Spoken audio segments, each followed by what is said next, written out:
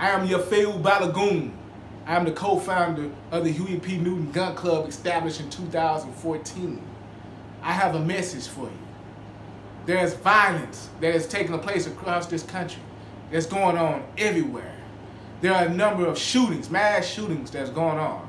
According to statistics, there's been well over 200 mass shootings here in the United States of America since 2019, since the beginning.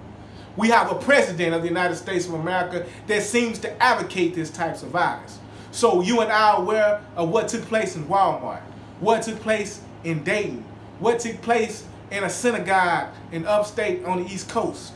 We are well aware of it, and we got a president who advocates for that. His rhetoric is a rhetoric of hate, a hate speech.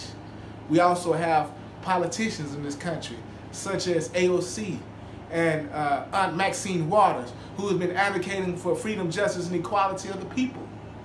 What I'm calling for today and going forward here in the future, all the way to 2020, is a left, a leftist movement, a political movement that no longer will we allow the right-wingers to shoot us down with the right-wing ideology, but we're willing to defend ourselves. When I'm saying we're willing to defend ourselves, I'm saying us that's on the so-called left, us that's been reformers, revolutionaries, that we take a, a more stronger position as relates to these right-wing extremists.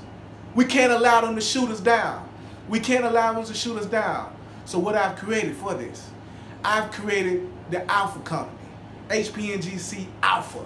Alpha Company specifically founded upon the ideas of Huey P. Newton. Understand the ideas of intercommunalism. It is very important. Understand it, define it, and make it a reality. Then take that ideology and let's go into the community and defend it and push these people back. Let's push them back. Let's arm and defend ourselves. Let's push this all the way down their throats and make sure that we can avoid a shooting uh, like a mass shooting that took place in El Paso. Let's make sure that we can defend the politicians that stand for us, such as AOC in New York. Let's make sure we defend her. Let's make sure we protect her.